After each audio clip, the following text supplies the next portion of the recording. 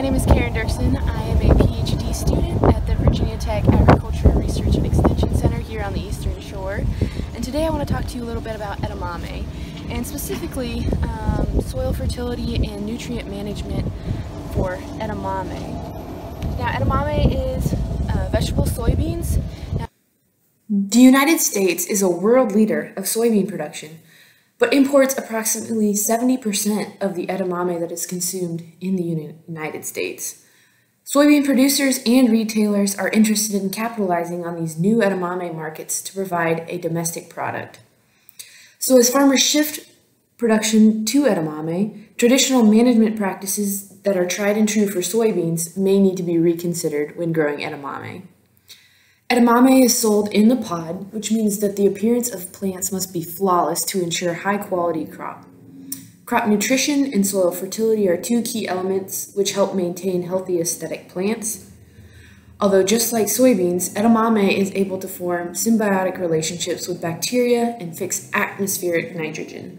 Applying supplementary nitrogen may prove to boost early season growth and increase yield. The addition of nitrogen may also prove to accelerate maturity, decreasing time for pests to damage edamame bean quality.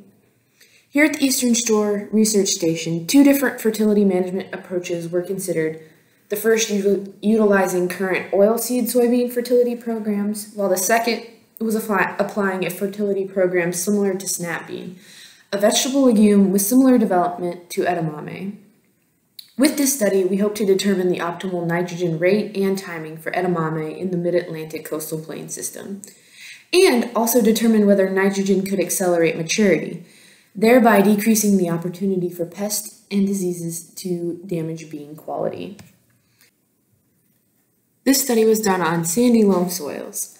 To represent a traditional soybean management strategy, a zero fertilizer treatment was used as a control.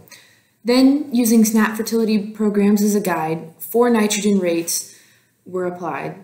Additionally, in order to de determine optimal timings, these four rates were applied at two different timings, either at planting or uh, with a split application, with half the nitrogen being applied at planting and half at the R1 de developmental stage, when the plant starts to flower. Lastly, uh, a treatment with both nitrogen and sulfur was applied to determine if sulfur was limiting in this specific system. At R1, tissue samples were collected and analyzed for total carbon, nitrogen, and sulfur content. Then at the R7 development stage, shown in figure 4, the edamame was harvested. To determine if the different treatments had any effect on maturity, plant height, SPAD, and NDVI measurements were taken. Then, post-harvest physical and chemical analysis of edamame pods were performed using near-infrared spectroscopy and also loss-on ignition method. Here in figure 6, we can see how nitrogen rate and when it was applied impacted yield, with yield on the y-axis and rate of nitrogen on the x-axis.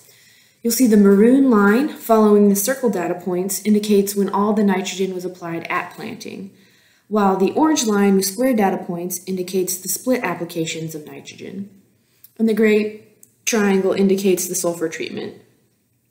Here we can see that the interaction between nitrogen rate and timing are significant. So when run separately, it was found that the nitrogen rate was significant when all the nitrogen was applied at planting, but split application uh, was not significant. You can see the upward trending line and higher rates of nitrogen led to higher yields. Figure 7 displays two different methods of measuring how green the plants were, with the hypothesis that earlier maturing treatments would be less green than later maturing treatments. Um, with this chart, again, rate of application is on the x-axis while NDVI is on the y-axis and SPAD is on the secondary y-axis. The lower two maroon lines with circular markers indicate NDVI readings and the upper two lines with square markers indicate SPAD readings. The solid line represents at planting application while dotted lines indicate split application. Um, when the least significant difference values found at the lower left corner are applied, there's no significant difference when comparing any of these values. So based on these results, um, in this field, uh, in this treat, in this study, There was no effect on maturity with the different nitrogen or sulfur rates. After harvest, when physical quality and chemical composition of pods and beans were measured, only the nitrogen to sulfur ratio was found to be significant.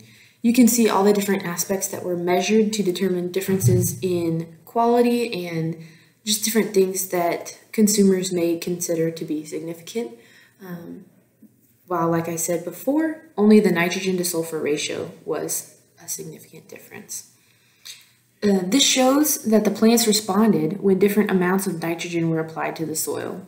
Figure 8 shows this difference. Again, uh, nitrogen rate is on the x-axis and the nitrogen to sulfur ratio is on the y-axis. The maroon bars indicate when all the nitrogen was supplied at planting, while orange bars represent split application of nitrogen. The gray bar represents the sulfur treatment. Bars with different letters above them are statistically different. And so while there's lots of letters, while many of the treatments are similar, and there are a few differences that should be noted. At planting applications show higher trends of um, nitrogen to sulfur ratios. Also, when nitrogen is applied at higher rates, the nitrogen to sulfur ratio increases. And lastly, when sulfur is applied, the nitrogen to sulfur ratio decreases. So the plant is responding to what is in the soil. These are important ratios to keep um, keep record of and to keep track of throughout the season. Um, it's important to note as too high or too low nitrogen to sulfur ratios can indicate crop deficiencies, um, and this is something um, to further look at. Um, so in conclusion, as seen um, in figure six, increased rates of nitrogen increased yield when applied at planting, while split application did not show an increase in yield. We did not see ev evidence that nitrogen significantly accelerated maturity. Nitrogen and sulfur fertility did impact total nitrogen to sulfur ratios of the edamame bean. As you can see, there's many interactions occurring in the soil that may give yield results and lead to increased plant health. We are repeating this test in 2020 and hope to gain some more valuable information on edamame soil fertility and plant nutrition. Thank you to the USDA NIFA Specialty Crops Research Initiative, Virginia Tech Agricultural Research and Extension Centers, and Virginia Farmers. Thanks for listening.